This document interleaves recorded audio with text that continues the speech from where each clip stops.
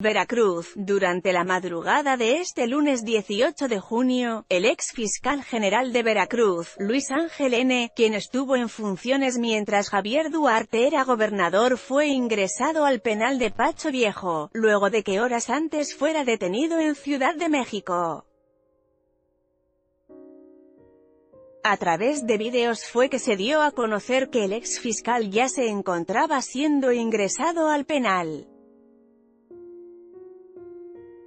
Fue alrededor de las 2 y 30 horas, que el ex fiscal Javier Duarte, fue ingresado al penal Pacho Viejo, por su posible participación en delito de desaparición forzada. específicamente por su probable participación en el caso en el que 13 personas fueron desaparecidas, encontradas y vueltas a ocultar.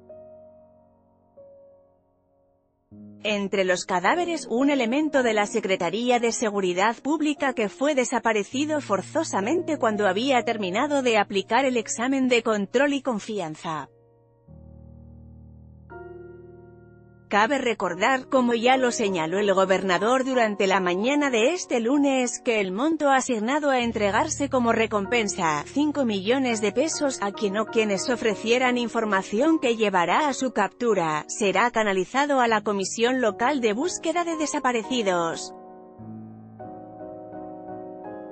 En esta nota, Veracruz Penal Pacho Viejo ex fiscal Luis Ángel detiene en cárcel Javier Duarte.